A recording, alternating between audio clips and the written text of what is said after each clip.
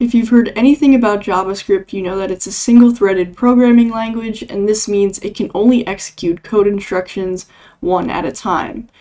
If a specific set of instructions takes a long time to execute, we're stuck waiting, and this is really problematic for front-end web development because you are directly interfacing with users. Ever been on a web page and you press a button and suddenly you can't click on anything else?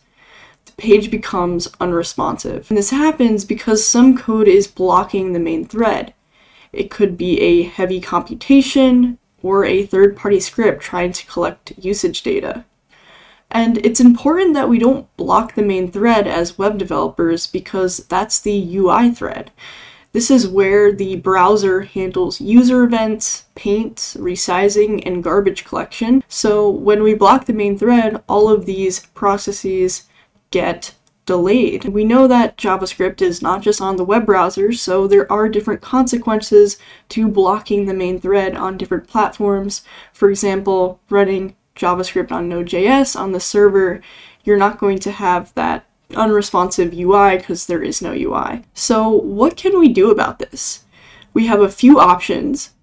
One good thing is that it's pretty difficult to write blocking code in JavaScript. JavaScript has a ton of asynchronous programming mechanisms like promises, async await, which are all non-blocking, and these all work with the JavaScript event loop, which essentially calls an asynchronous operation, and instead of waiting for that function to complete, it's able to move on to other code, and when that function does complete, it'll run the callback but this is all still on a single thread, and you can't just wrap blocking code in a promise and expect it to not block the main thread. So we can take a multi-threaded approach and use something called web workers. Web workers are a browser and node API, so they're not actually part of the JavaScript language itself, and they allow you to run a script on an entirely new thread.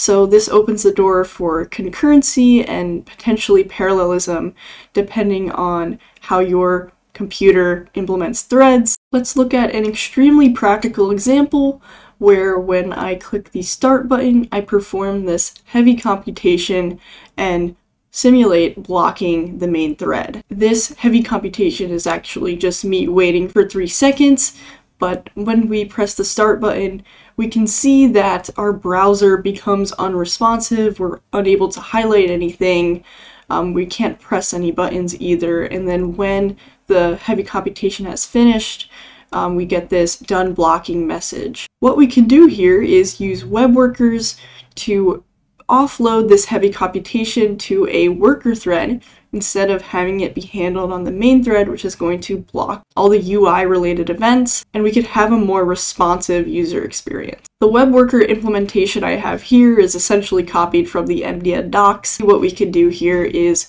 post messages from the main thread to the worker and vice versa. And when we click the start button, we'll notice that we're still able to highlight things, click other buttons on the web page, it's responsive, but the worker thread is experiencing that blocking code, so the counter doesn't begin to start until that blocking code is run.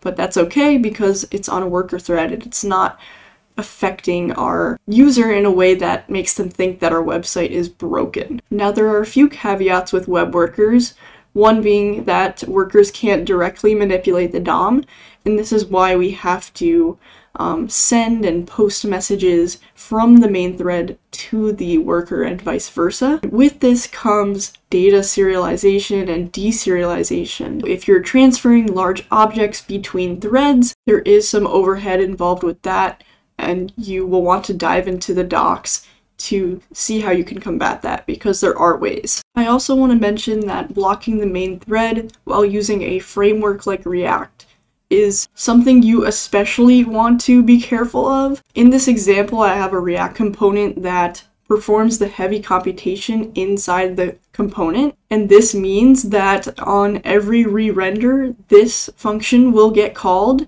and that heavy computation will be performed. I've run into this problem in my own production apps, and what you can do to mitigate this is to try and transfer some of that work being done in the component to the server. This is so that your UI doesn't get blocked. My name's Alexa, and I hope this video made you understand why this is one of the number one rules of front-end development with JavaScript. Thanks for watching.